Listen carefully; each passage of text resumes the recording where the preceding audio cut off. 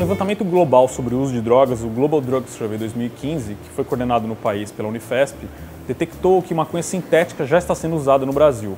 O número é pequeno, mas já preocupa. O que se chama de maconha sintética é uma maconha onde um dos canabinoides da maconha natural, que é o THC, ele é, está quase que exclusivamente presente sem os outros canabinoides. Se entende como é que é a molécula né, do THC. Né? Então, tendo esse entendimento, se sintetiza, se tem um, um equivalente sintético, ou seja, a gente não depende mais de plantar. A gente pode produzir essa substância no laboratório. Então isso está sendo feito já há bastante tempo, existem vários subtipos de cannabis sintética sendo usados. Além disso, esse canabinoide da maconha sintética, ele é o que a gente chama biologicamente, quimicamente, de ele é um agonista total da, dos receptores que o organismo tem. Quando você tem uma substância que é um agonista total, ou seja, ele se gruda nesse receptor de uma forma muito intensa e ele não dá, não deixa mais espaço para outras configurações bioquímicas nesse cérebro. Então o efeito é muito mais intenso e a dependência é muito mais intensa também. Quase 100% dessas vezes esse componente sintético ele não está puro, né? Ele não vai vir só essa, essa maconha sintética, ele vai vir com outros componentes que vão dar sabor, vão dar vão aumentar o poder de dependência e isso vai fazer com que essa droga fique cada vez mais tóxica. Isso já está acontecendo. Aqui já tem bastante gente usando, até provei uma vez aqui, só por provar, porque meu amigo tinha comprado num site. Vinha num saquinho, tinha uma cor bem escura, assim, não tinha nada a ver com planta, assim, não parecia ser nada derivado da maconha nem nada. E tinha um cheiro bem esquisito, assim. E quando você acende é um cheiro mais esquisito ainda, uma coisa bem estranha. A maconha sintética possui nomes genéricos como K2 e Spice e não tem um fabricante específico.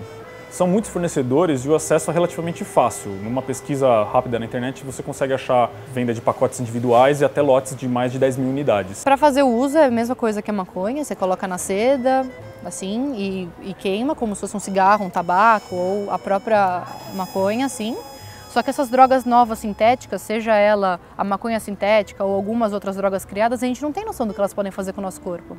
Então a gente cria uma coisa que é sintética que a gente não tem noção da consequência que pode ter para a gente e a gente faz o uso achando que é seguro porque a gente pode comprar numa loja. Cada oito usuários de maconha sintética, um vai para procurar uma ajuda médica de urgência, procura um serviço de urgência. Isso é um dado muito impactante. Isso não acontece nunca com uma maconha natural. Além do risco aumentado de dependência, você tem risco de todos os problemas físicos decorrentes desse uso de maconha que poderiam acontecer e que são muito esporádicos na maconha natural. Por exemplo, você tem uma arritmia cardíaca, você tem um quadro intenso de ansiedade, de pânico, complicações respiratórias.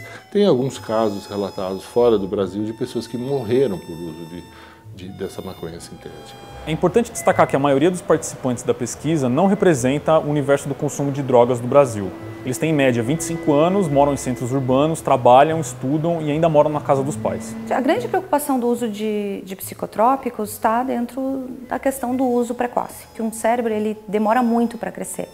Né? A maturidade neurológica ela se atinge somente lá pelos 24 anos álcool, tabaco, qualquer droga que afeta a forma com que o meu cérebro funciona. Enquanto o meu cérebro ainda não terminou de crescer, de se desenvolver, essa mudança ela pode ser permanente. A porcentagem de pessoas que têm problemas decorrentes do uso da maconha é muito pequena.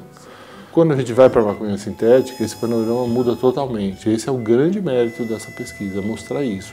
Essa mudança de, de padrão procurando uma maconha sintética faz o indivíduo incorrer numa série de riscos à saúde, agravos, danos de uma gravidade muito grande.